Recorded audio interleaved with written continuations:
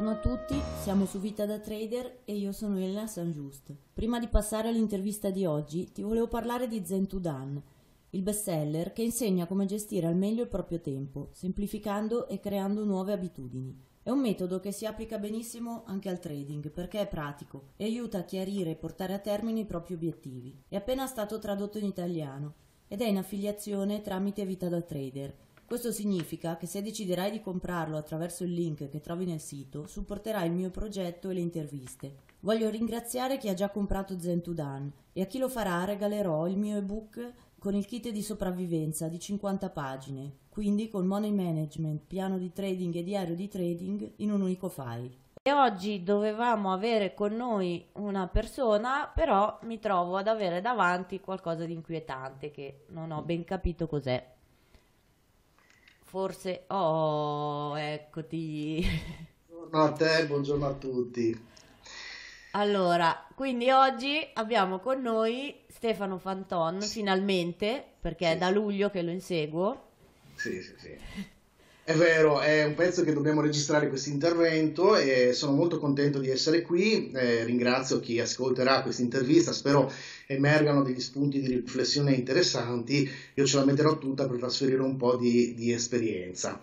Eh, naturalmente avete visto alle mie spalle un, un mio collaboratore, ha una funzione molto importante nel mio studio, è una scultura alta circa 2,20 m di un orco, Tral, vedrete il film tra poco, tra l'altro nel 2016 uscirà il film proprio su, su Warcraft con Tral e Re degli Orchi protagonista, ebbene lui serve nel mio studio, ogni volta che io lo guardo, a ricordarmi che c'è sempre qualcuno più forte di, di noi.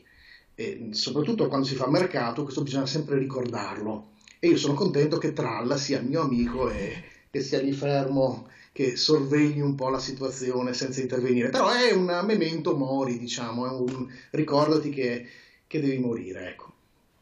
Perfetto. Allora, Stefano mi ha chiesto di fare tutto al contrario, per cui eh, oggi iniziamo con quella che di solito è l'ultima domanda, la domanda finale, e oggi diventa la prima. Per cui eh, domani mattina ti svegli e tutto quello che hai costruito uh, nel tempo non c'è più, però hai la, le competenze, l'esperienza le conoscenze che hai acquisito nel tempo. Hai un PC con una connessione, le spese di sopravvivenza pagate per un mese e un conto con 10.000 euro. Che cosa fai? Beh, intanto devo dire che una domanda del genere vuol dire non volere troppo bene al relatore perché è, sarebbe, sarebbe, veramente una situazione difficile. Devo, devo fare delle, delle, premesse. Io ho iniziato a fare trading, non ero ancora maggiorenne, avevo 14 anni, quindi ho iniziato eh, facendo trading in un conto corrente che non era intestato a me, dove avevo una procura a lavorare rilasciata dai miei genitori su, su, sui mercati, con un limite naturalmente di, di denaro eh, io ho iniziato facendo trading in questa maniera, con pochi soldi, perché ho iniziato con circa 3 milioni di lire, l'equivalente di 1500 euro di adesso. E, ehm, ho iniziato con pochi soldi, con poca esperienza, ma con tanto tempo libero, che è la situazione eh, che tutti poi i ragazzi hanno, hanno magari molto tempo da dedicare, da approfondire, da studiare, pochi soldi, quindi pochi danni anche da fare, Bene, ho iniziato con questi soldi che peraltro non mi erano stati regalati, ma erano i soldi che eh, io eh, avevo risparmiato lavorando alle estati, mia madre aveva una, un'attività, io eh, aiutavo in questa attività d'estate e mi ero messo via un piccolo gruzzoletto con l'idea appunto di, di, di operare in borsa. Il mio primissimo trade in realtà fu fatto eh, a 14 anni dove eh, ebbi in regalo per il mio compleanno dei, dei dollari americani poca, poca roba, qualche centinaio di, di dollari, ma eh, sapete, avere le banconote da un dollaro che fruscianti e mh, mm, tenerle, vederle ed essere appassionato di, di, di fumetti, di Zio Paperone, nel, diciamo, nel, nello specifico, fu per me un input carino per interessarmi di quel mondo. Bene, questa è la premessa perché io ho iniziato appunto con pochi capitali e poi nel tempo, vuoi per fortuna, vuoi per mercati favorevoli, poi per costanza e anche un pizzico di bravura, sono riuscito nel tempo a costruire eh, diciamo, un'operatività sempre più eh, importante. Il mio uh, record, la mia operazione più grande l'ho, l'ho fatta negli anni d'oro che sono stati nel 2000 dove entrai con un, un covered warrant eh, su, su, un titolo su RBS che eh, eh, diciamo, aveva un, un, andamento tecnico particolare, comprai dal, eh, dalle piste da sci questo, questo covered warrant eh, un po' particolare ed ebbe una, un andamento uh, rialzista spettacolare, portai via un miliardo di lire all'incirca in due mesi, due mesi e mezzo, non ricordo i tempi esatti, ma ho descritto questa operazione eh, molte, molte, volte anche su, sui libri che ho scritto. Fu, fu l'operazione di trading più grande che mh, mm, come, come profitto singolo feci eh, ma per assurdo me la sono quasi dimenticata, mentre ricordo perfettamente eh, i 96 milioni di lire che persi poco dopo, in un'ora, sul covered warrant Olivetti e an- ancora, ancora, li ricordo quelli. Quindi diciamo sono stato abituato negli anni d'oro, negli anni forti, a operare con cifre molto ingenti, sia su strumenti eh, estremamente rischiosi come eh, i covered warrant all'epoca, con mercati molto volatili ma anche molto direzionali, che sui futures dove sono arrivato ad operare con svariati contratti e, e quindi eh, in, in, maniera abbastanza, abbastanza pesante sia in bene che in male. Ovviamente come tutti ho avuto fasi di drawdown e fasi di, di guadagni, voglio dirlo, vergognosi, ma è, è così. E, ehm, e poi nel tempo ho ridotto mh, terribilmente l'operatività, sono, sono, passato dalla fase di scalping pura dove facevo anche 200-300 eseguiti al giorno negli anni d'oro eh, per, per, poi passare a un'operatività più, più, rilassata con trading system su base settimanale e in operatività magari multi-day con pochi eseguiti al giorno abbandonato lo scalping, ma questo perché lo scalping effettivamente è un qualcosa che si può fare con capitali magari non, non, elevatissimi e poi bisogna dirla la verità ti, ti consuma, è molto faticoso. Eh, eh, in effetti un trading system su base settimanale eh, magari sull'indice può darti magari meno redditività in termini, eh, in termini assoluti ma in termini relativi è un'altra storia fare 5, 6, 10 eseguiti all'anno su un sottostante invece che farli in un giorno. Quindi questa è la domanda, la domanda che tu mi hai posto.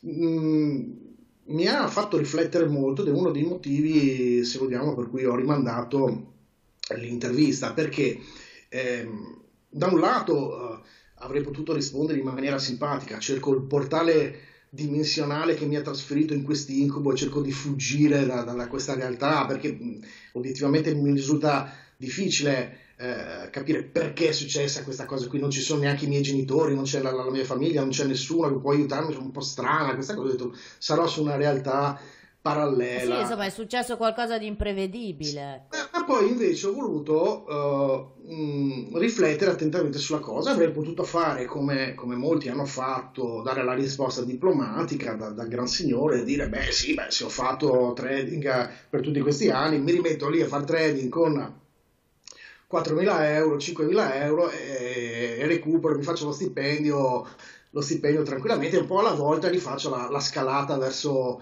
verso, il milione di euro. Diciamo, io ecco, ci ho messo 7 anni, eh, 7 anni ad arrivare da, a partire da, dai 3 milioni di, di lire al, al, miliardo di lire, è stata una progressione enorme e vi assicuro, vi assicuro che il salto più grosso l'ho fatto con le ultime 2-3 operazioni dove ho preso dei rischi enormi perché bisogna dirla questa cosa, essere prudenti, avere gli stop rigidi, essere disciplinati, va bene nella fase iniziale di accumulo, ma se volete fare i salti di qualità, eh, qualche rischio bisogna prenderselo. E questo andrò un po' controcorrente, però eh, è un dato di fatto. Se no si faranno sempre, sì, operazioni interessanti, ma ahimè, eh, voglio dire, bisogna anche no pain, no gain, a volte va bene, a volte va male, ma è quella la sofferenza. Come nella vita, secondo come, me. Come nella vita. E allora, eh, allora, mi sono detto, ma accidenti, eh, darò anch'io una risposta del genere, eh, mi metterò lì e ricomincerò. Ma non avrei reso un bel servizio effettivamente a chi ascolta, perché mm,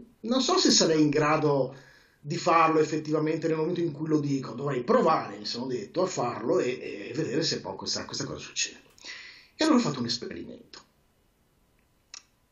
Mi sono detto, ho 10.000 euro, Qual è lo strumento finanziario ideale per operare con 10.000 euro?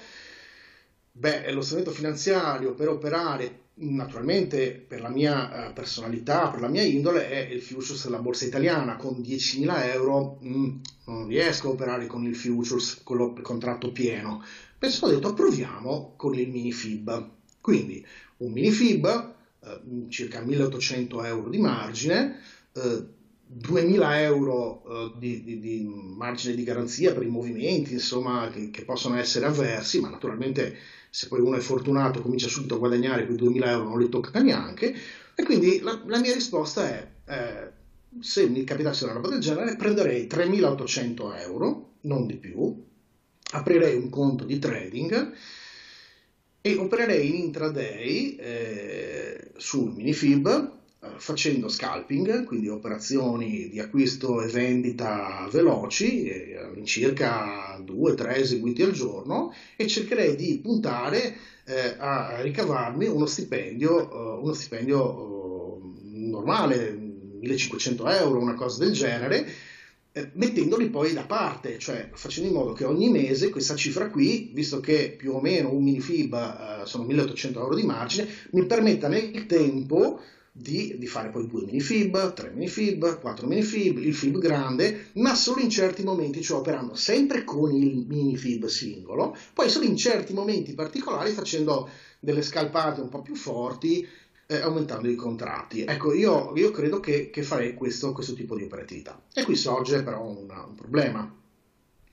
perché naturalmente quando si discute di, eh, di, trading viene detto tutto e, e, il suo contrario. E nel trading molte cose hanno una dose di veleno e una dose di medicina, una dose di verità e una cosa di bugia, perché è un po' tutto vero.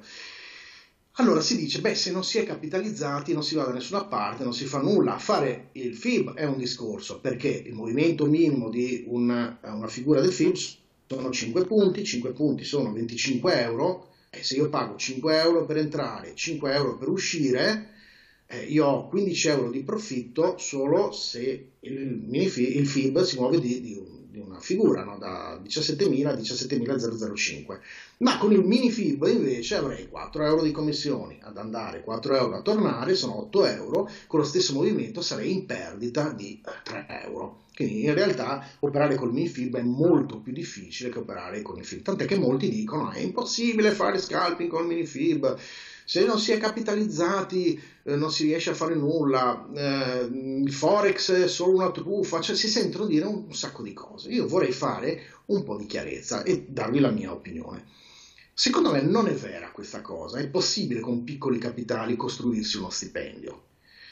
Eh, per me è facile farlo, non è semplice forse per altre persone perché serve un'esperienza, eh, serve una, un tipo di eh, conoscenza che si sviluppa nel tempo. Io credo che il miglior corso di formazione sia quello di stare davanti al terminale con un eh, rigoroso protocollo di premi e punizioni che uno si deve autoinfliggere e fare simulazione e fare operatività e seguire e vivere il mercato, ma punendosi in qualche maniera, rinuncio alla pizza il sabato sera se eh, non chiudo la settimana in profitto, cioè costruire un meccanismo di pre-punizioni prima di metterci del, del denaro reale. Però anche qui, eh, vedete, si, si, leggono un po' di tutte le cose. Mm, tu so che sei nel nostro gruppo di Traderpedia, quello di Facebook, eh, vengono fatte molte polemiche sul fatto che si possa fare trading o meno, servono 100.000 euro, ma è chiaro che più capitali si hanno, più ci si difende. Ma qui parliamo di disperazione totale, si perde tutto, si ricomincia da un minifib. Quindi si deve mettere da parte l'orgoglio, mettere in funzione eh, la sana modestia operativa e tornare a fare i trader operai, a fare operazioncine da 20 euro, 30 euro e a costruirsi a costruirsi una piccola rendita eh, mensile che, che, deve essere intaccata al meno possibile a costo di andare a pane e riso per, per tutto il mese eh, naturalmente nel caso mio mi farebbe anche bene una piccola dieta, unire l'utile al dilettevole, ma voglio dirvi il, il, concetto è quello che i soldi vanno poi preservati e riutilizzati per incrementare naturalmente il, eh, il, capitale. E qui si legge un po' di tutto, si legge qualsiasi cosa. Io vorrei invitare chi ascolta eh, queste mie parole a riflettere che non esistono nel trading verità assolute, ad avere un po' di rispetto perché delle volte si credono impossibili delle cose che altre persone normalmente fanno. C'è gente che lavora con microlotti a leva, uh, um, a leva 400, a leva 200, a leva 100, c'è gente che lavora sui fiuci, sulle opzioni, c'è molta gente che perde, c'è anche qualcuno che riesce a portarsi a casa dei profitti. La domanda è, uno che inizia deve correre tanti rischi o pochi rischi?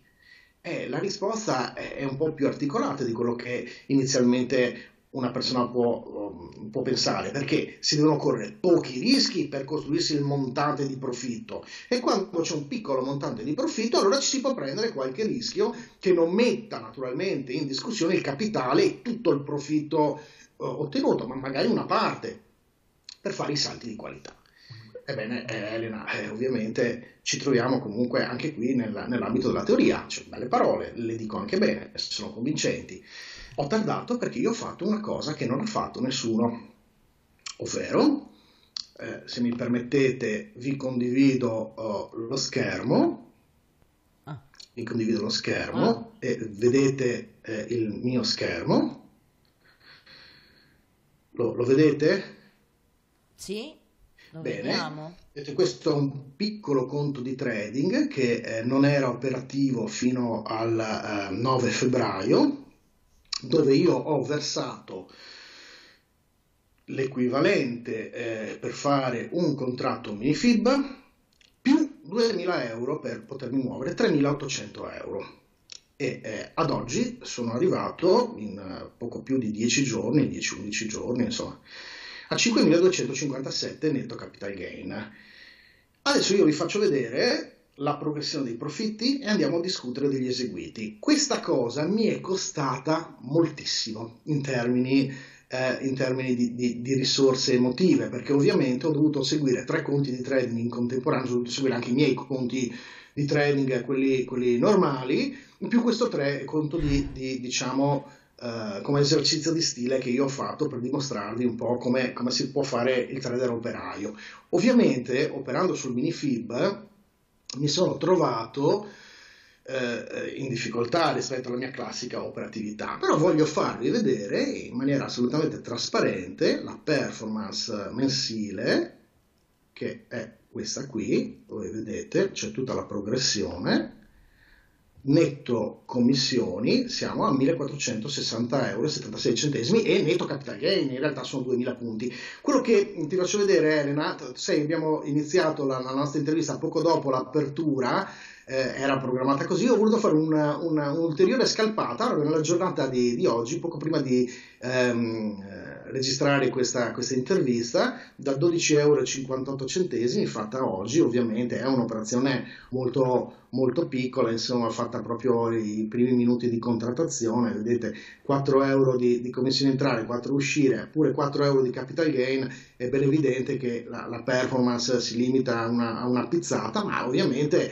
questo è il primo eseguito del giorno, poi ne ne potrebbero arrivare altri, ma credo che questo esperimento lo posso considerare compito. Io vedere però gli eseguiti e parlarvi un po' delle tecniche, delle, delle cose operative che io ho, ho impiegato eh, per fare questo esperimento. Allora ho aperto il conto eh, e ho iniziato il, il, 9 febbraio. Intanto vediamo la, la zona eh, operativa che è questa ho operato in questi giorni, quindi non sono nemmeno stato fortunato da prendere un bel mercato direzionale dove era facile eh, vendere all'apertura e chiudere in chiusura, c'erano bei movimenti, sì c'erano bei movimenti, ma accidenti erano molto contrapposti, quindi serviva una mente assolutamente neutra per mettersi long, short, long, short, long, short e non tradare di posizione, perché naturalmente un esercizio di stile di questo tipo non avrebbe avuto senso se io avessi fatto un acquisto a 15.009 e una vendita a 17.004. No, questo è un tipo di trading di, di scalping puro. Notate l'orfanello, eccolo qua, solitario, l'unico giorno in perdita, il 22 febbraio, ve lo faccio vedere, 22 febbraio, eccolo qui, eh, eccolo qui, 22 febbraio, questo è l'unico giorno in perdita che il mercato si è mosso moltissimo e, e, e poi andremo a discutere un po' e a vedere un po' le, le singole giornate. Allora, cominciamo dal 9 febbraio. Allora, il 9 febbraio la, la prima operazione l'ho, l'ho fatta in, in mattinata, eh, una, una, scalpata, 75 euro di profitto, ma in realtà ho cominciato a pagare ovviamente il capital gain da subito, eh, perché era conto nuovo, 26 euro, 52 il capital gain, tutto più difficile eh, con un mini FIB, la, la, erano più di 100 punti, pensate, fosse stato fatto con il FIB 102 punti, sarebbero stati 510 euro, 500 euro di profitto sarebbero stati, e, invece con il eh, mini FIB diventano 75, in, in proporzione è come se ne avessi presi 100 col, col mini FIB trasformato in FIB, chiamiamolo così, è, è, è molto più difficile col mini FIB. Dopodiché un'altra operazione fantastica, ma come potete vedere una, una, scalpata da paura, perché se questo eseguito è stato fatto alle 10.06, questo è stato fatto alle 10 e, eh, e un quarto, quindi eh, 9 minuti, 9 minuti dopo, altri 160 punti, eh, anche qui con i capital gain pagato, cioè, mh, ma pagarne tante di tasse, altri 56 euro, in realtà erano 217 punti, e, e, e ho portato il profitto a, della giornata a 236 euro. Poi non ho più operato perché? Beh, perdonatemi, ho i miei conti da seguire, cioè questo, questo, è un esperimento. Io sono certo che se avessi massimizzato la mia presenza su questo conto di trading, eh, eh, prendetelo con, con simpatia, questo, nessuno vi fa vedere queste cose qui, credo Elena, nessuno ha fatto vedere queste cose, credo, no? Quindi è, è interessante dargli un'occhiata, però io non posso neanche massacrarmi con un minifib in questa maniera per, per, per, un mese, tutti i giorni. Ho operato per certi periodi, tant'è che noterete io quasi mai ho operato il pomeriggio su questo conto, ma perché? È perché il pomeriggio apre Wall Street, i mercati sono volatili, scusate mi segue i miei conti, però, però, però insomma eh, eh, voglio dire, questo deve un attimino togliere la discussione sul fatto che non si possa fare, non sei capace, e diciamolo. È una cosa diversa. Tolgo a te, che sai chi sei, che dici sempre che non si può fare, e non sei capace, questa è la verità. Comunque, continuando il nostro discorso, il giorno dopo, vedete, lo stesso la mattina ho fatto una scalpata che si è ridotta con 5,18 euro di profitto. Perché? si è ridotta così questa operazione. Va, ve lo spiego. In realtà che cosa facevo io uh, a, livello, a, livello, operativo? Uh, um, utilizzavo dei, dei, setup, degli ingressi particolari, poi mi mettevo una, uno stop uh, quando il mercato si era mosso in direzione mia in pari, eh, magari con un tick di guadagno, e lasciavo andare l'operazione. Quindi poteva capitare, come in questo caso, che poi il mercato ritracciasse e naturalmente mi, eh, mi, chiudesse la, la, la, l'operazione in, in, questa, in, questa, maniera qua. Eh, o, o, naturalmente l'operazione seguente è stata un'operazione diversa, un po' più di profitto, ma insomma 88 euro, giornata chiusa. Poi vabbè, lasciamo perdere il sabato e la domenica o dei giorni in cui io non ho operato perché sono stati in realtà, vediamo, vediamo il, eh, il totale dei giorni, non ho lavorato un giorno, due giorni, tre giorni, ecco tre giorni li ho, li ho saltati, eh, non ho potuto seguire in quei giorni lì e quindi Ecco, qui invece in questa giornata ho fatto l'operatività al contrario. Allora, la, la, l'operatività di scalping che riesce molto bene nel mio caso si ha in due periodi eh, soprattutto. In apertura, quando i mercati sono estremamente volatili, bisogna un attimino fare le mosconate, sapere un po', un po', dove sta andando il mercato, dove è direzionato, fare un'operazione veloce, ma anche verso la chiusura. Verso la chiusura ci sono delle occasioni interessanti, tant'è che vedete ho fatto una scalpata chiusa alle 17.24, subito dopo una alle 17.29. Non ricordo il singolo trade, però ci sono 4 minuti di differenza, 80 punti, eh, anche questa qui, considerando il capital gain, eh, beh, accidenti, sono altri 27 euro di capital gain, erano 107 punti FIB, quindi eh, assolutamente, assolutamente interessanti. Poi vabbè, sabato e domeniche, lunedì stesso discorso, vedete una la mattina, una in chiusura. Eh, anche qui molto spesso io come operavo, impostavo l'operazione, appena vedevo che andava nella direzione, stop in pari, trailing profit attivato e quindi eh, sono molte le operazioni fatte con, con, queste, con queste, cifre ridicole, 20 euro, 30 euro, sono, sono, cifre modeste, però sommate tra loro, avete visto, cioè, sono quasi 1500 euro netti fatti, no, non voglio dirvi in un mese perché non ho operato un mese, in realtà beh, io ho operato 2, 3, 4, 5, 6, 7, 8, 9, 10, 11, 12 giorni, ma oggi ho operato in realtà un minuto, quindi sono 11 giorni e un minuto che è senz'altro interessante per noi questo, questo dato. Bene. Il giorno 16, eh, il giorno 16 mi sono scatenato. scatenato. Eh, eh, mi sono divertito un casino perché era molto facile questa giornata qua. Andiamo a vederla il 16, 16 febbraio. 16 eh, febbraio, eccola qua. Voi la vedete naturalmente come le altre giornate, ma in realtà quando un mercato si chiude eh, o tenta di chiudere il gap che aveva fatto aperto due giorni prima o ha dei movimenti particolari, delle volte gli si dà di dritto e di rovescio.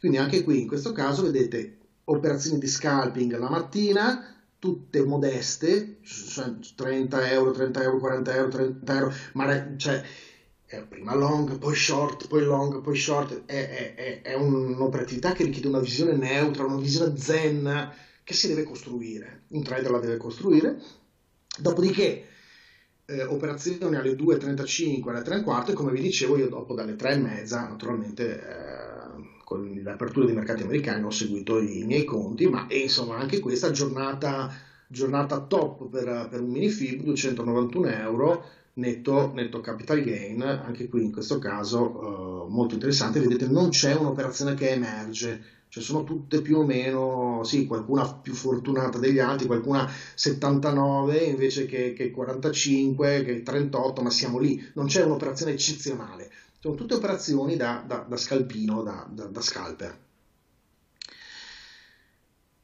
Giorno successivo, 17 del 2, eh, altra giornatona, eh, operazioni insomma chiuse, chiuse così con eh, profitti tutto sommato modesti, eh, un'operazione in perdita, eccola qua, 18 euro, è poca roba, eh, 18 euro, sono poche robe, però io non volevo portarmi l'operatività in overnight se non avevo dei segnali di setup particolari, quindi io arrivati alle 47 preferisco chiudere e portarmi a casa una perdita pur modesta, pur eh, trascurabile, ma insomma, eh, ricominciare poi il giorno dopo. Ecco, molti, molti dicono magari mm, lascio aperta l'operazione in overnight, tanto non sto perdendo, tanto non sto guadagnando molto. Beh, bisogna avere rispetto del denaro. Bisogna avere rispetto del denaro anche se sono piccole cifre e poi il denaro ti rispetterà. Questa è una cosa, è una cosa che io ho imparato negli anni, se si ha rispetto del denaro, il denaro ti rispetta. Ora, la, l'operazione più interessante per me è stata questa, 8,88 euro di, di, di profitto. E, um, interessante perché? Perché l'8 è il numero della fortuna nella, eh, così, nella numerologia cinese, quindi è stata una cosa, una cosa un po' curiosa, eh, interessante da, da, da vedere. Giorno successivo, anche qui vedete 18 del 2, scusate se vi annoio magari facendovi vedere tutti i giorni, ma voglio essere trasparente, farvi vedere l'operatività in modo che sia, sia chiaro, lo ribadisco, eh, non è che non si può fare, non sei capace di farlo, caro amico. Eh, ecco qua, 50 euro, 23, 31, 45, 68, tutte operazioni piccole, anche queste vedete la mattina fino alle 9 e mezza, 10, dopo l'apertura di Wall Street cioè nei momenti più volatili. È inutile che uno scalper sia tutto il santo giorno davanti al terminale, ci sono delle fasi temporali che sono migliori delle altre. Poi naturalmente, come detto, eh, io ho il buco, l'oblio perché mi seguivo appunto in altri, altri conti. 19, 20, 21, qui sono giorni che ho saltato, eccola qua. Questa è l'unica giornata, l'unica giornata in negativo del mio esperimento, ma non ne ho vergogna, anzi sono contento che, che ci sia anche una giornata negativa perché capita. Eh, perché non ho difeso il profitto? Perché se voi andate a vedere eh, l'operazione unica, le 10 e mezza, io avrei potuto tentare di, di, difendere il profitto, ma la giornata, la giornata il 22, come, come vi facevo vedere prima, il 22, eccola qui, scusate che la, la, segniamo, eccola qui, era molto particolare con l'attacco sui massimi, naturalmente, che, che era atteso, uh, tra l'altro prima c'era stato uno spinning top, quindi uh, un'indecisione, ma un'indecisione sulla chiusura del gap, quindi mi aspettavo forti movimenti rialzisti che poi ci sono stati, ma la cosa interessante qual è stata? Che io ho deciso, ho detto ok, eh, blocco questo conto, mi seguo le altre operatività e l'ho, l'ho trascurato anche per... Uh, sì, insomma, è una giornata in perdita, ci sta. 78 euro, un trade un trade eh, così sfortunato. Il giorno dopo ho cominciato subito a recuperare Ah, già alle nove e mezza avevo recuperato, vedete, vi faccio vedere anche il recupero della minusvalenza perché avendo fatto il giorno precedente, una piccola curiosità, una minusvalenza, e naturalmente mi è stato, um, mi è stato diciamo, accreditata la minusvalenza compensabile di 78 euro, quindi io il giorno dopo, quando ho cominciato a guadagnare la prima operazione 7 euro, e beh, non ho pagato il capital gain ovviamente, vedete, sul sui primi 7 euro e la, la minusvalenza accantonata è passata da 78 a 71 euro.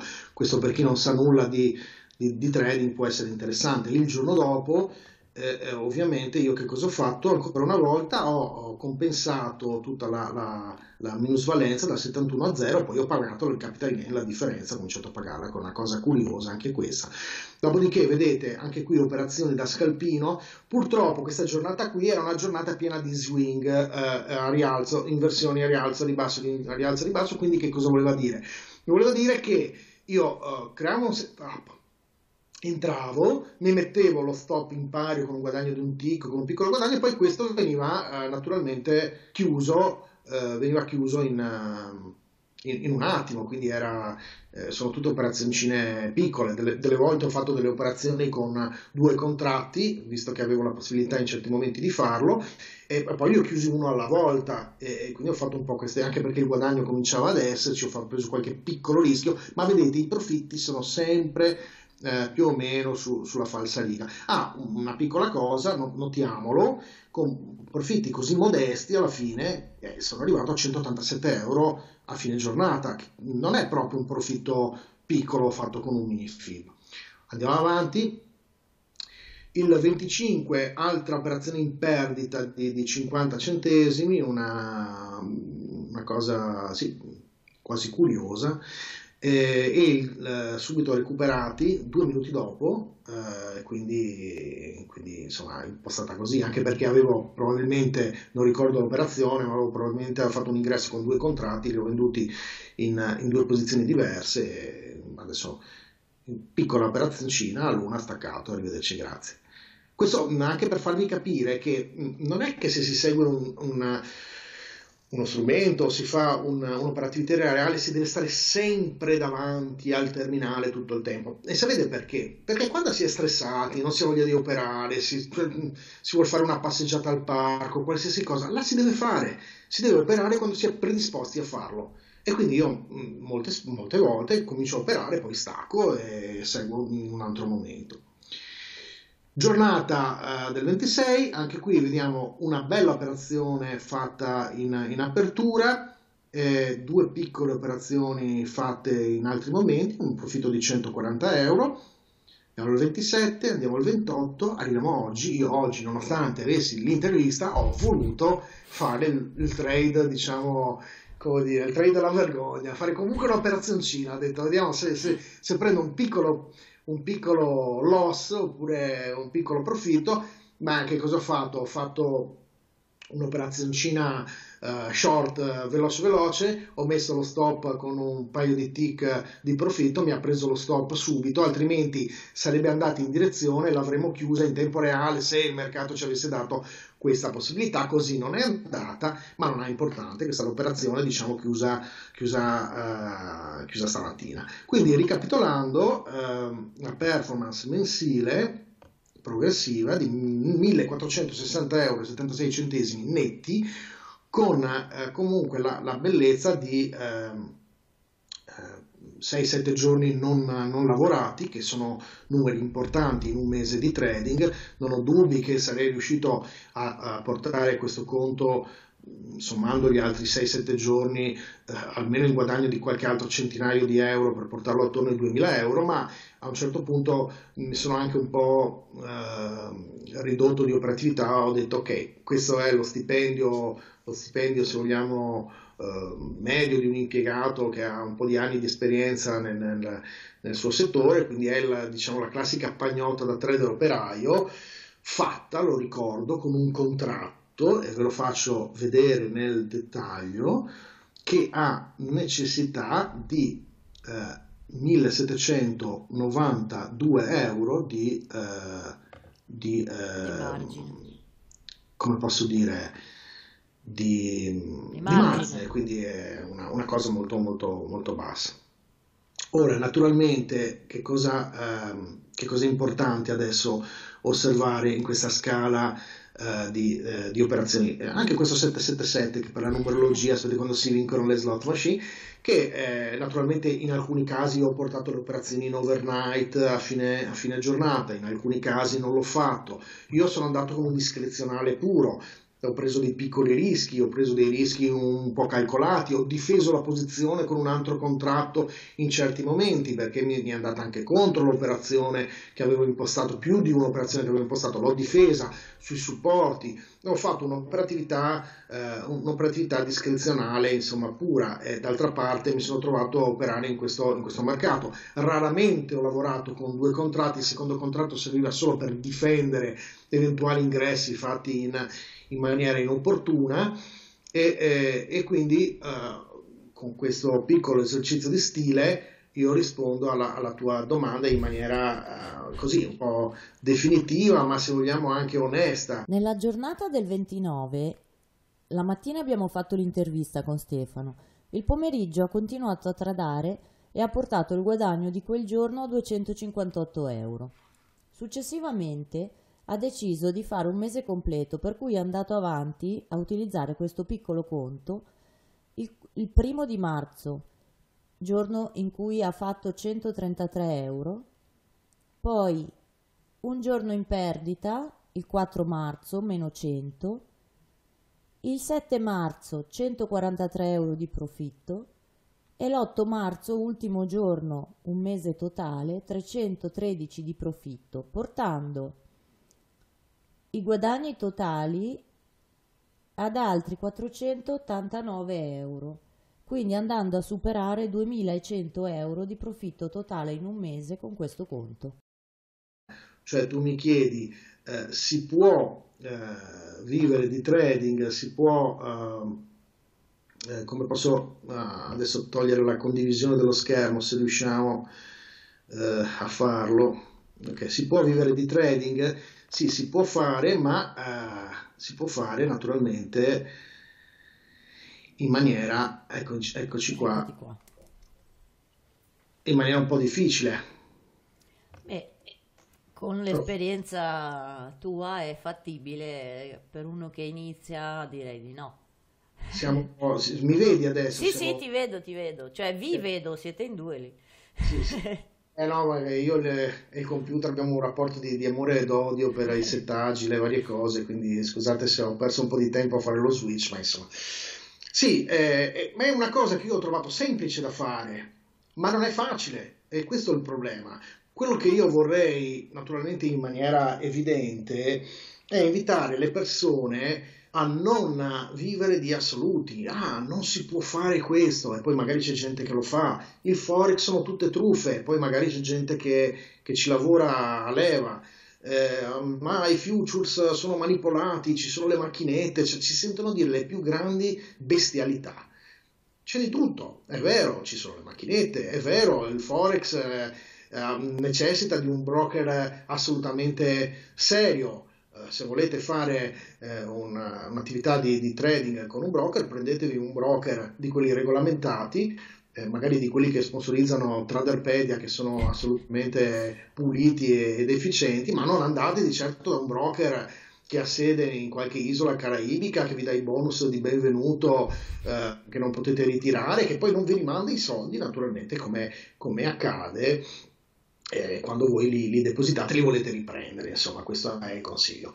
Quindi tornando al nostro discorso, alla nostra domanda, cara Elena, sì, ricomincerei, ricomincerei con 1800 euro più un po' di margine, eh, cercherei di portarmi a casa la pagnotta, sistematicamente tirerei via la metà dei profitti che realizzo, quindi mi porterei a casa 750 euro, farei in modo di vivere con quella metà dei profitti e lo farei mese per mese e mi prenderei dei rischi maggiori in certi punti di mercato perché chi non rischia è destinato comunque a, fare operazioni come quelle che vi ho mostrato da 20, 30, 40 euro per carità belle però insomma aggiungerci uno zero sopra eh, o anche due è sicuramente più, più interessante.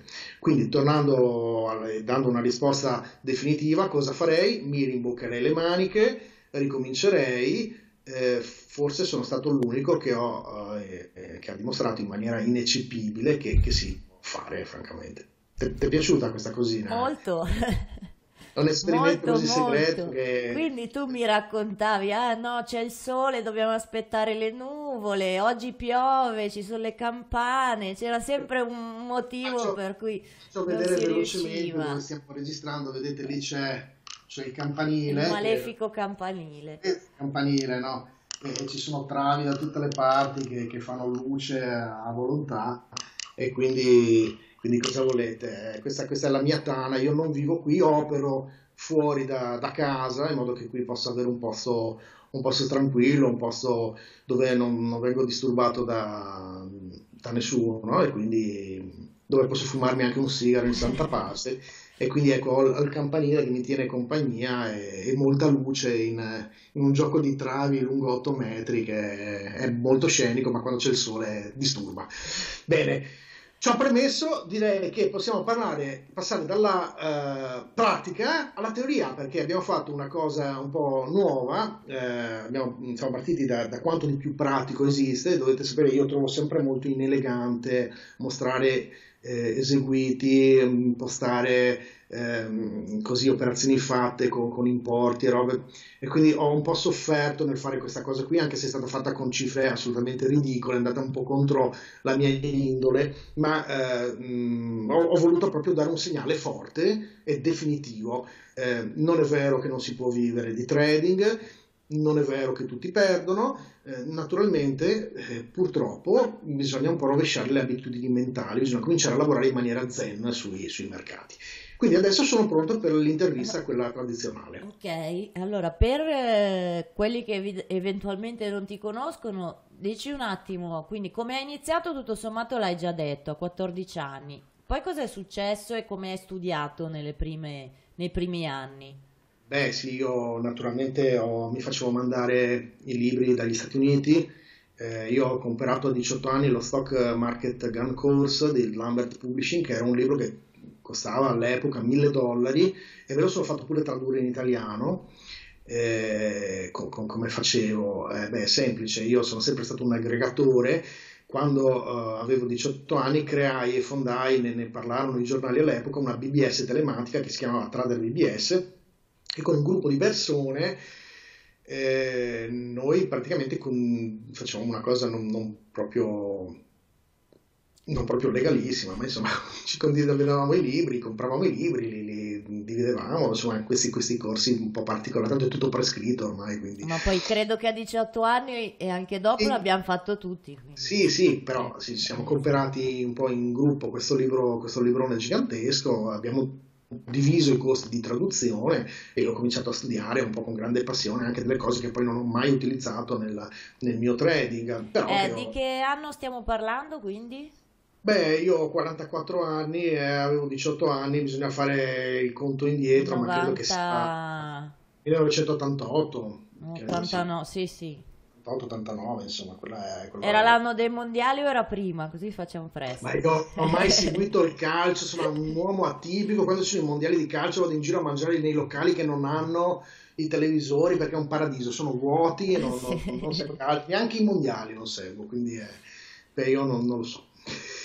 E, e, dunque, e, dunque, ho iniziato un po', un po', così, ho sempre avuto un'aggregazione ehm, di persone importanti, sono in realtà io un, un trascinatore, mi piace organizzare gruppi, avere gruppi, tant'è che con Dario Tomasello abbiamo fondato il gruppo di Traderpedia che conta solo iscritti che hanno richiesto l'iscrizione al gruppo, noi non invitiamo nessuno, siamo più di 4400 ed è, ed è, un bel gruppo e ci, ci, piace insomma tenerci compagnia, questo è un lavoro molto solitario, lo, lo si fa da soli e c'è bisogno un po' di, di riscontro, altrimenti si, si, diventa un po' asociali, è, è abbastanza brutto. E, ehm, e, quindi questo è un, un aspetto sì, interessante del, del, del trading. E, e, quindi hai studiato su testi americani, come hai proseguito insomma dal, da quel primo eh. trade a 14 anni? Eh, hai, hai, iniziato a, eh, insomma, hai riunito delle persone in modo anche da studiare in gruppo, condividere le, le conoscenze, poi?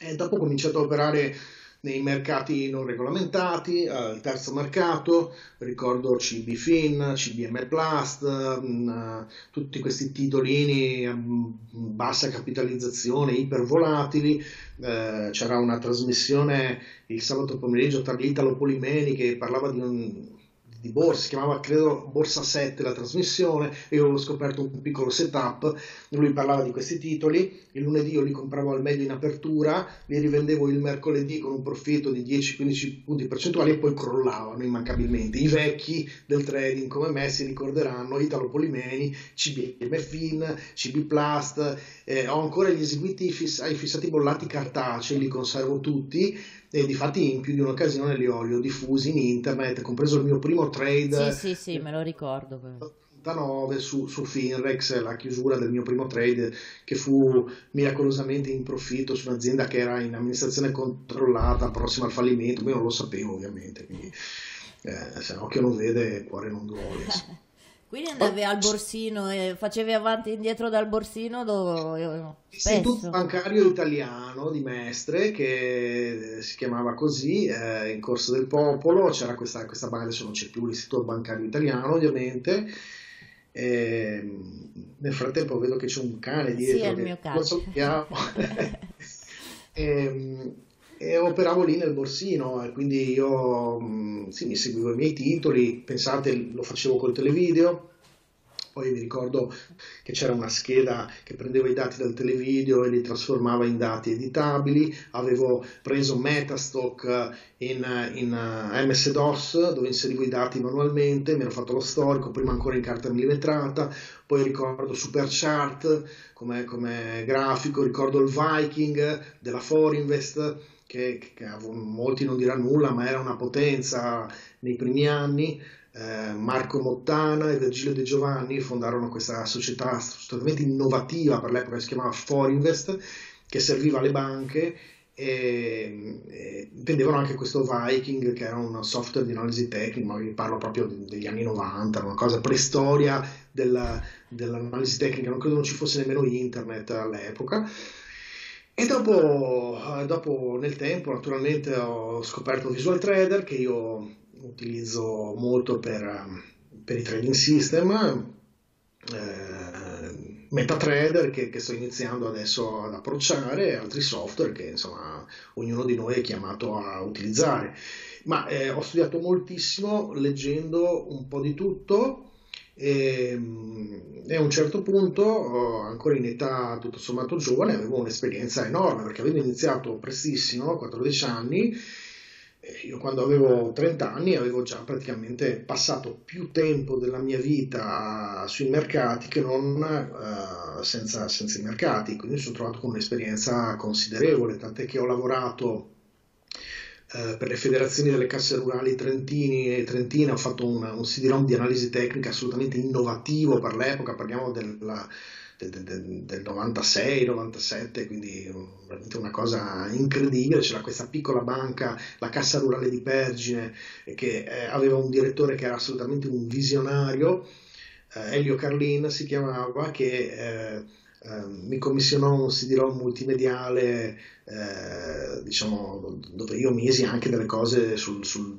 trading, sulla borsa, sulle speculazioni, che poi vendetti alle federazioni delle casse rurali trentine, lo, lo, lo, diedero come gadget ai loro clienti. Fu una cosa incredibile per me perché io non avevo nessuna nozione di programmazione, ma avevo colto la palla al balzo, mi sono comprato un bel manuale di programmazione, mi sono messo a imparare eh, a programmare Toolbook, che era un software di creazione multimediale di CD-ROM, e mh, mm, ho preso dei grafici per fare i disegni, per fare la, la, la grafica di CD-ROM e ho creato questo CD-ROM Uh, di analisi tecnica, che, che, poi è stato la base di tutti i CD-ROM di analisi tecnica che anni dopo ho creato, Candlemaster, Swingmaster, analisi tecnica volume 1 sulla borsa, dove parlo fine anni 90, che venivano inizialmente venduti e distribuiti da uh, Forinvest Eh, dopodiché io cominciai a crearmi le mie società di distribuzione, a creare questi prodotti e dopodiché a un certo punto smisi di distribuire questi prodotti e riversai tutto in forma gratuita su Traderpedia, progetto che ancora eh, porto avanti e che ancora diciamo, eh, sviluppo quindi in realtà ho trasformato tutta la conoscenza in social, conoscenza social e ho distribuito un po' tutto anche per restituire un po' di, di cose che, che, ho avuto io da, dalla vita e da, da, questo settore. Ed è una cosa molto bella per me perché oltre ad avere la possibilità di, di scrivere, che a me piace moltissimo scrivere, ho la grande possibilità di essere letto e di essere anche apprezzato da, da molte persone. Questo per me è una soddisfazione che va oltre il il denaro, il profitto è una cosa molto, molto importante nella, nella, mia vita, questo è un aspetto eh, chiaro.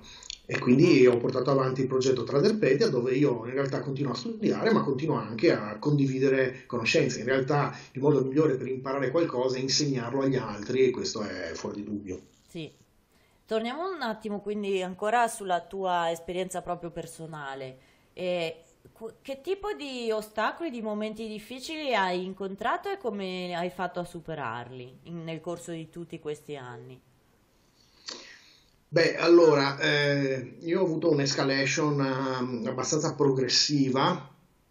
Eh, il momento più difficile l'ho avuto quando mi mancavano 3 milioni di lire per arrivare ai 300 milioni di lire e ehm, non ricordo esattamente l'anno, credo che fosse il 96, il 97, io mh, quella fase lì temporalmente non, non, me la ricordo perfettamente, ma credo il 96, dovrei guardare sui grafici, ci fu un V-Reversal da manuale sul nostro mercato e ehm, io dovevo comprarmi la macchina nuova, uh, un Porsche Cabrio, e mi mancavano 3 milioni per, per, per volevo comprarmi il navigatore satellitare, no?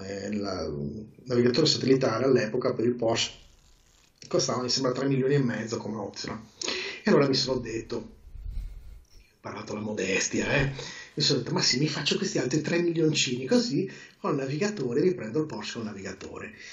Bene, il mercato fece un V-reverse all'improvviso, io ero short, persi eh, in, nell'arco di una settimana praticamente i due terzi di tutto il mio portafoglio, perché ero paralizzato, bloccato, non, non riuscivo a, cioè, a capire come era potuto succedere una roba del genere abituato a un certo tipo di mercato, il mercato è cambiato, insomma capita, il mercato ti va contro, sei a leva, e basta poco per, per perdere molto. E lì fu un momento di sconforto enorme, invece del Porsche mi comprai un Opel Tigra, fu un bel bagno di umiltà, una Opel Tigra nera e, e mi dissi tra me e me basta, non ne voglio più sapere niente, cioè, una, non voglio più sapere niente di mercati. Dopodiché sono rimasto qualche mese in diciamo in, in stand by e poi ho reiniziato da, da trader operaio di nuovo ed è arrivato il 1999 nel 1999 avevo recuperato tutta la perdita avevo denaro avevo esperienza io avevo il radio Tenfor a casa, quello delle banche, cioè con la, con la parabola, ce l'avevo a casa nel, nel, in una stanza, era un prodotto che costava 8 milioni di lire all'anno, ma eh, ragazzi non c'era internet eh, all'epoca, era, eh, cioè, era agli arbori internet, quindi eh, non, non, c'era nulla. Io avevo oh, la possibilità di, eh, economica di, di avere questo strumento qui che mi è servito tantissimo in quel periodo lì e sono arrivati gli anni d'oro. Gli anni d'oro sono stati 2, 99 2000 e, e in parte il 2001, perché poi io, eh, tra l'altro in maniera assolutamente tempestiva, un, un, mese prima del massimo, un mese e mezzo prima del massimo della borsa italiana, mi ritirai per, per una cosa un po' che non è molto scritta nei libri, si chiama over profit. io mi, mi presi 17 mesi di ferie, dovevo comprare un attico in centro storico in Corso d'Augusto a Rimini, mi ero messo la sauna, cioè un, un appartamento bellissimo e, e non facevo niente. Per 17 mesi non ho fatto nulla e mi sono proprio mi sono anche serviti quei mesi lì. E, e dopo ho ricominciato a fare trading, ma mi sono detto sono stato bravo, sono stato fortunato, lasciamo che sia il tempo a, a definirlo. Ho ricominciato con cifre più basse e ho ricominciato a fare scalping. Ho fondato Scalping School che era una, una società che faceva formazione sullo scalping. Ehm, io facevo scalping di fatto dalla mattina alla sera, ma ero un socio minoritario, avevo solo il 25% della società, ma serviva anche per andare in giro, vedere posti, era, è stata una bella esperienza che è durata parecchi anni. E dopodiché a un certo punto io ho chiuso tutte le società, le cose che avevo e, e mi sono messo solo a fare trading con naturalmente cifre comunque eh, non, non, elevatissime, in un'ottica di protezione da me stesso di fatto. E ho continuato per, per, parecchio tempo, cambiando stile di trading, cambiando approccio molte volte, ma tenendo le basi sempre, sempre uguali. Se mi togliete una candlestick e, e e due o tre time frame diversi io sono, sono, bloccato, ma non ho bisogno di linee di tendenza, non ho bisogno di indicatori, non ho bisogno di oscillatori, ho una visione operativa zen del, del mercato sui cambi di volatilità, una cosa un po' complessa da dire in due minuti, però insomma è, è così che funziona. Alterno molti periodi in cui non faccio intraday perché è molto stressante farlo, a periodi in cui lo faccio in maniera intensiva Dipende, dipende dalle fasi di mercato ovviamente, se siamo in fasi a bassa volatilità ed alta direzionalità non conviene fare intraday, conviene prendere le posizioni, mantenerle, al limite difenderle in certi punti, a fasi come quelle attuali dove io faccio moltissima operatività in, in intraday, non gli eseguiti che avete visto in quel conto diciamo di, di prova, ma ne, ne faccio un po', un po' di più eh, faccio quelle che io, eh, Dario e Tony chiamiamo le, le pariginate, cioè le, le, operazioni un po' di ottimizzazione dei trade d'ingresso e quindi insomma occupo il mio, il mio tempo così, leggo moltissimo ancora adesso, eh, sia di trading che non di trading e scrivo moltissimo perché a me piace proprio molto scrivere, eh, scrivere un po' sì, di trading, di, di aspetti psicologici, emotivi, credo che il grosso della minestra sia proprio nel, nell'aspetto psicologico del trading. E tu come l'hai imparato a gestire?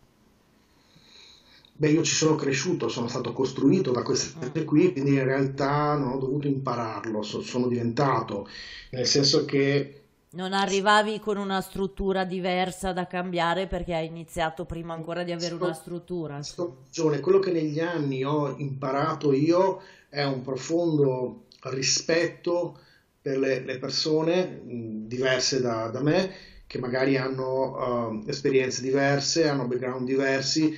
Eh, non mi considero assolutamente migliore degli altri perché riesco a vivere di trading o a fare questa operatività, ho solo avuto un'esperienza diversa, non vivo di assoluti e quindi non, eh, non ho verità da, da, rivelare, da dirvi sì, fate solo futures, sì, fate solo uh, valute, fate, cioè, in realtà ognuno deve costruirsi la sua strada. Io ho fatto trading per molti anni sui titolini, è una cosa meravigliosa fare trading sui titolini, titoli a bassa capitalizzazione. Ho fatto delle operazioni spettacolari su, su alcuni titoli come, come, Binda, ad esempio, che non, cartiera settrici Binda, che quella non c'è più, ma uh, titoli così che hanno oscillazioni enormi. Quello che io cerco è la volatilità, ma io sono fondamentalmente uno specialista di uh, futures di, di, mercato italiano, mi piace molto il mercato italiano anche se molti trader lo schifano, ma ragazzi il mercato italiano è inefficiente perché segue a ruota gli altri mercati, no, non è una cosa da poco questa e poi è meno volatile normalmente di, una, di un DAX ad esempio e quindi è, per me, per, per la mia operatività è migliore, ma non è detto che non sia completamente opposta a questa cosa per un'altra persona. Quindi in realtà quello che io consiglio è di, di farsi la propria esperienza in, in autonomia eh, senza, senza, nessun problema. Ecco. Senti, mh, mm, so che a un certo punto hai smesso di fare formazione, come mai? Eh, allora, de- devo essere sincero, eh, avrei la fila io a fare corsi di formazione se volessi farli, sia col canale di Traderpedia che, che, che per come sono un po' noto, ma no, io non faccio formazione, eh, non faccio formazione da anni, l'ultimo corso credo che l'ho fatto 5 anni fa se non ricordo male. E, ehm, non faccio formazione perché credo che eh, ci siano due tipi di formazione, cioè la formazione inutile e della formazione utile. Quella che erogherei io è formazione fondamentalmente inutile, perché mh, innanzitutto no, non potrei mai stare con un falchetto che mi sta dietro otto ore al giorno a vedere cosa faccio, cosa non faccio, perché impazzirei. io ho, ho una, una, giornata, cioè, compi- io trado fondamentalmente da un computer portatile, poi ho altri computer dove i software di analisi tecnica, eccetera, ma io mi guardo molti film mentre seguo i mercati, scrivo, leggo, faccio tutte altre cose, cerco di essere eh, assolutamente eh, rilassato nel mio trading, dover spiegare continuamente quello che fai, quello che non fai. Io perdo tantissime occasioni nei mercati perché mi concentro in soli, in, in, in alcuni punti. Basti pensare che io ho deciso di registrare questa intervista a mercati aperti, mi sono fatto appunto la, l'apertura perché dovevo chiudere delle posizioni che avevo eh, su, su, su, altri conti e, e, anche sul conto diciamo piccolo, poi che stacchiamo questa mattina, io sono libero di, di sta- non voglio essere schiavo, è un esercizio di stile per me registrare questa cosa a mercati aperti e non guardare cosa sta facendo il nostro futures perché eh, altrimenti diventi schiavo di un qualcosa che ti divora l'anima, eh, te la divora sia che tu guadagni che, che tu perda. Io mm, per la mia piccola esperienza so che generalmente un trader che guadagna è sempre di buon umore, allegro e contento un trader che perde invece è sempre incazzato, che fa polemiche su Facebook, vabbè, ce ne sono tanti anche sul nostro gruppo che li vedi sono sempre incazzati, no? E quindi ti chiedi come mai sono sempre incazzati. No? Vabbè, li saluto ancora, si può fare ma non siete capaci. No? E questo è, è, così insomma il discorso. E quindi ho imparato sì, una, una, buona dose di, di umiltà. Certo che parlare di umiltà facendo il trader e facendo trading in maniera in maniera così anche un po' attiva un po', un po difficile, si, ci si deve confrontare con eh, problemi emotivi che sono, che sono mm, non da sottovalutare. Tu a un certo punto, quando guadagni eh, in una giornata cifre che una persona magari guadagna in molto più tempo e facendosi un mazzo enorme, devi avere anche rispetto quando ti confronti con le altre persone. Io sono l'unico dei miei amici che fa queste cose eh, praticamente nessuno sa precisamente cosa faccio io, perché io glisso sempre su questa cosa. Se mi chiede che lavoro fai, io faccio lo scrittore, dico, scrivo libri di finanza, curo siti internet, eh, basso profilo, perché tanto la gente ti vede o come uno squalo, come un parassita o come un genio e non sei né l'uno né l'altro e la persona che si deve profondamente convincere di questa cosa non è chi ti ascolta, ma sei tu e quando tu ne sei convinto, allora sei gentile con tutti, cerchi di rispondere alle mail che ti scrivono tutti, cerchi di, di, di dare un sorriso a tutti, cerchi di dare un piccolo contributo a tutti, eh, senza essere insomma così sempre incazzati, sempre, sempre nervosi, come, come, ne vediamo tanti sul gruppo anche nostro, insomma. Eh sì. Senti, che cosa hai imparato dal trading e, e, l'hai riportato nella tua vita oppure l'inverso, che cosa mh, della vita hai portato nel trading a livello di cambiamento, di crescita tua personale? Beh, io avendo sposato in maniera forte la filosofia orientale, lo zen, ovviamente il mio carattere ne è stato profondamente influenzato, a dispetto della, dell'aspetto semiserio che ho io quando vado ai seminari o ai TF e via discorrendo, sono una persona estremamente mm, divertente, gioviale, allegra.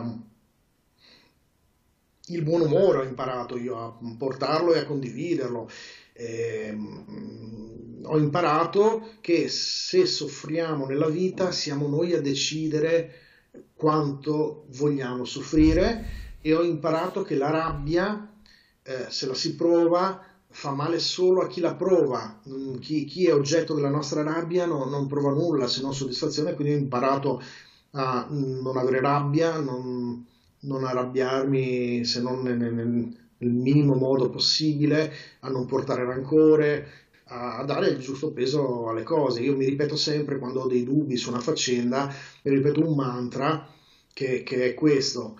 Che importanza avrà questa faccenda tra un anno? Se la risposta è nessuna, meglio lascio correre. Ho ideato parecchi mantra anche sul trading, io ho ideato quella frase famosa che adesso viene usata anche da altri, i mercati sono fatti per sorprendere, è stato il eh, titolo del primo numero della rubrica che io ho fatto Occasioni e Trading eh, circa tre anni fa ed è naturalmente la filosofia che bisognerebbe sempre portare avanti nei mercati. I mercati sono fatti per sorprendere, dobbiamo sempre ricordarcelo. L'altro mantra che ho creato io, scritto nel mio libro Lo Zen, la via del trader samurai, è proprio il mantra del trader. Eh, dove andranno i mercati? Non lo so, non mi interessa, non lo voglio sapere, è un mantra su cui bisogna ragionare da che contiene un po' la chiave, la chiave emotiva ecco, di tutto. Quindi ho imparato a migliorarmi come persona. Secondo te, quelli che non hanno successo nel trading, quali sono le motivazioni, diciamo, più diffuse per quello che hai visto tu? Beh, allora che cosa vuol e dire? anche, visto che hai, forse sei quello che ha un'esperienza più lunga tra tutti quelli che ho intervistato, e se per caso ci sono state delle, delle differenze in queste motivazioni tra il pre-internet e il post-internet, diciamo, oppure era già così prima, secondo te? Beh, allora, la premessa è che io lavoravo con il 7 per 1000 di commissioni, eh?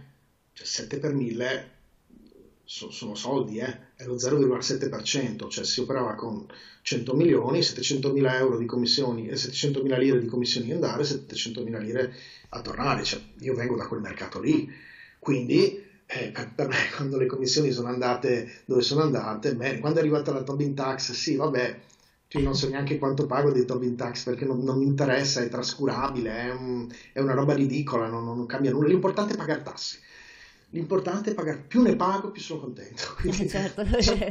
ma io sono abituato a non lamentarmi di nulla, per cui ho questo approccio un po' su tutto. Paghiamo tasse, vuol dire che guadagniamo, dai, va, va bene così. Certo, quel conticino che vi ho fatto vedere senza il capital gain sarebbe 2.000 euro invece che 1.460, ma chi se ne frega, voglio dire, non, non, non cambia la dimensione delle cose. E quindi mm, sì, eh, questo è, se vogliamo, fondamentalmente il punto della, della questione. No, ma eh, la domanda era, secondo te, per quello che hai potuto vedere in tutti questi anni, quali sono i motivi sì. per cui non hanno successo e se per caso sono motivi che sono cambiati nel tempo o sono eh, sempre gli stessi? No, il, il, discorso è articolato perché in realtà ci troviamo di fronte eh, a persone completamente diverse tra loro, con background certo. culturali diversi, con ehm, eh, denaro qualitativo diverso, ogni denaro ha una sua qualità, certo. è inutile ce la discutiamo. Io, eh, io ho fatto delle cose eh, con denaro, ho speso denaro in modo che non avrei mai speso se avessi guadagnato quei soldi lavorando in miniera, cioè ovviamente come lo guadagni il denaro ha un, una profondità una, e un valore assolutamente diverso, impari a rispettarlo nel tempo. Eh, ma all'inizio purtroppo il, il, trading, specie quando è fatto di successo, ti trasforma un po' caratterialmente se non sei ben formato, ben disciplinato, quindi è, è importante questa cosa. Beh, i motivi per l'insuccesso? Beh, eh, d- devo dire che i motivi eh, possono, secondo me, fondamentalmente ascriversi a due, due, condizioni fondamentali. La mancanza di pazienza e la mancanza di immaginazione. Sono due aspetti dove potremmo scrivere un libro e ragionarci sopra e sono fondamentali, però sono le strade che uno deve affrontare. Eh, chi vuole mh, operare in questo settore deve riuscire a farlo a prescindere dalla cifra che investe. Non è pensabile che un trader sappia guadagnare con 100.000 euro e non sappia guadagnare con 2.000 euro. C'è, c'è qualcosa che non va. Fai con 2.000 euro, prova, guadagnerai di meno, guadagnerai 20 euro al giorno che non ti servono a nulla, per carità, però ti fai un'esperienza che è impagabile. E quindi chi vuole iniziare non deve iniziare con 50.000 euro, 20.000 euro, 10.000 euro, che sono anche troppi 10.000 euro, ma devi iniziare con il minimo indispensabile, 3.800 euro. 1.800 euro di contratto, 2.000 euro per muoversi e per avere l'accelerazione di un altro contratto in, in qualche momento, in qualche occasione particolare. Eh, questo per me è assolutamente assolutamente fondamentale. Secondo me la gente non riesce perché ha fretta. È come se noi dovessimo andare da Venezia a Milano in macchina con una grandissima fretta e corressimo come disgraziati, non rispettando gli stop, le precedenze, le altre macchine, perché noi abbiamo fretta. Beh, ma al traffico, alle altre persone non gliene frega niente che tu hai fretta. E sicuramente avrai una grandissima probabilità di fare un incidente che ti bloccherà.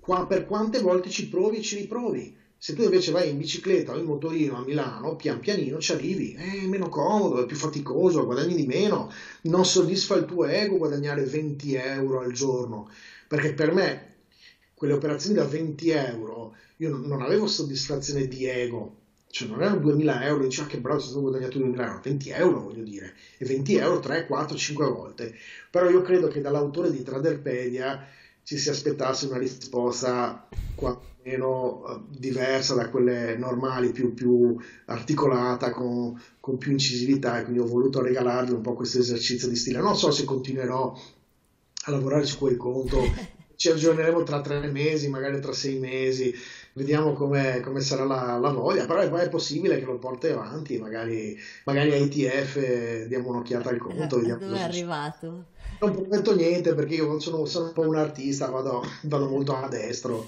ma sarebbe anche carino come esperimento. Di sicuro vedrete sempre profitti da 20, 30, 40 euro perché quella è la, è la cosa che, che, che, si deve fare su quei conti lì, salvo poi impostare dei trade di posizioni un po', un po particolari. Ecco. Se tu dovessi dare eh, dei consigli a chi inizia, quali sono i consigli più, più importanti che ti verrebbe da dirgli? Di conoscere se stessi, perché è, questo è un gigantesco buco nero. Eh, io consiglio fortemente a una persona di approcciare al trading con aspettative. Si deve approcciare al trading con uno spirito di miglioramento personale, e con uno spirito di voler conoscere e imparare una cosa nuova. Poi si scopre strada facendo se fa per noi o no. Eh, io consiglierei di aprire un conto, un conto su Forex, ad esempio, con un broker serio e cominciare a fare delle operazioni con dei micro lotti reali, 2, 3, 400 euro di operazioni, magari non in scalping strettissimo, ma in posizione e cominciare a imparare a gestire a gestire la, la cosa in maniera così un po' operativa, un po' teorica, perché fatto con un microlotto ovviamente i danni sono, sono, sono pochi che si possono fare. Consiglierei questo e poi di leggere, di leggere molti libri, di scegliersi determinati autori che sono in sintonia con le proprie aspettative, le proprie, i propri approcci e leggersi la, tutti i libri scritti da, da, questi autori. Non si sceglie i propri maestri, insomma, di fatto. Ma poi la strada bisogna farla da soli. Eh sì, sì, sì. E se tu dovessi consigliare dei libri, eh, anche non di trading, a parte i tuoi che sono nella, nella mia classifica sul sito, il tuo è è arrivato ormai al primo posto, è lì, fermo, è lì stabile al primo posto. Ora, allora anche sui libri c'è, c'è, una discussione che è infinita, no? No, quelli sono... che, hanno, che, hanno, ispirato te, che a te hanno dato qualcosa, tra tutti quelli che avrai letto in tutti questi anni. Se tu no, dovessi no, dirne due o tre che ti hanno fatto fare dei passaggi importanti, insomma. Se, se, devo essere sincero, sono tutti i libri che ho letto sullo Zen, mi hanno fatto fare un, un salto importante. Da 101 storie zen a una serie di altri titoli, lo zen è l'arte della manutenzione della motocicletta, lo zen è l'arte del tiro con l'arco, tanto per citarne alcuni, sono tutti libri che io ho letto e riletto e assaporato in molte, in molte cose, ho trovato molte metafore, molte, molte, cose inerenti al trading, ma il libro in assoluto che mi, ha, mi è servito di più per, per assurdo è il libro che ho scritto io, che è lo Zen alla via del trader samurai, che è un piccolo libro che, che, so che nella comunità dei trader ha una, un'immeritata ottima considerazione. Io ne ho due. Solo eh? della ve- io ne ho due della vecchia edizione, poi so, credo che prenderò anche la nuova. Sì, piacere regalartene una copia, è questa la nuova, ve la, ve la faccio vedere, l'ho appena ristampata ed è stata ristampata grazie alla, alla, sponsorizzazione di Active Trade. Io non finirò mai di, di ringraziare questo broker eh, specializzato nel, nel, Forex, tra l'altro, un broker eh, serissimo, molto, molto efficace che, che, ha sposato questo libro e l'ha sponsorizzato. Non sarebbe stato possibile ristamparlo perché nonostante quello che si pensi nei libri, sono libri che vengono venduti con dei numeri di, di nicchia, qualche centinaio di copie l'anno, non, non giustificano un impianto di stampa per, per, una seconda edizione, una terza edizione, così una tiratura di mille copie viene venduta in cinque anni magari, non ha nessun senso economico. Però volevo già che ci sono, eh, si rispondere a molte persone che quasi si fanno un vanto nel non aver letto libri di trading o nel considerare chi scrive libri del trading eh, un trader che guadagna scrivendo, uh, scrivendo, libri.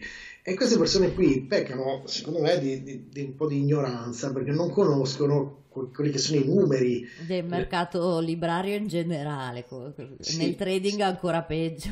Sì, perché si parla di qualche centinaio di copie l'anno, quando si stampa con un eh, editore si parla del 10-12% del prezzo di copertina, lordo, perché certo, c'è, c'è le tasse, quindi prendiamo anche un piccolo bestseller che vende 500 copie di analisi tecnica in un anno, eh, se dobbiamo considerare togliere i costi di stampa, se, se te lo stampi tu, e i costi di, di, spedizione, oppure le royalties, toglierci le tasse, paghiamo vendendo 500 copie di 1000 euro di profitto l'anno, cioè siamo, siamo su quest'ordine di grandezza, c'è qualche scatola di sigari viene fuori, per carità, non è assolutamente da disprezzare, ma chi scrive libri, almeno nel caso mio, lo fa per soddisfazione, è una grandissima soddisfazione essere letti, apprezzati, considerati, quindi dovessi consigliare un libro, Lo Zen, la vita del trader samurai, non ho dubbi che per molti rivoluzionerà l'approccio al trading.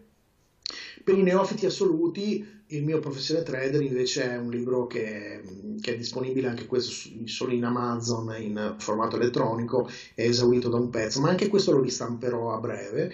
Anzi, tra l'altro ne, ne approfitto per, per, annunciare che molto probabilmente inseriremo, Elena, tutta la parte che hai creato tu dei trader nel libro, nella nuova edizione di Professione Trader, come, come parlavamo di, di, di fare, sarà un'edizione particolare con i contributi di vita di trader molto, molto interessanti che inseriremo, insomma un bel esperimento credo, e, ehm, per chi inizia senz'altro interessante. E poi il corso migliore di trading che si possa fare davanti al terminale a provare e riprovare. Ora, tra, tra gli amici, i colleghi, una persona molto attiva nel, nel, nel fare corsi di formazione e che gode della mia stima e considerazione è Marco Tosoni.